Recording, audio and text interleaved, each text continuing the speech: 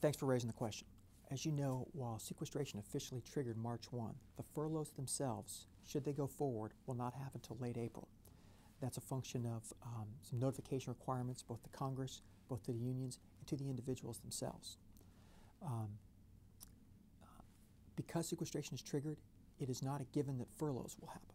You know that department leadership is doing everything we can um, to not have to take this step.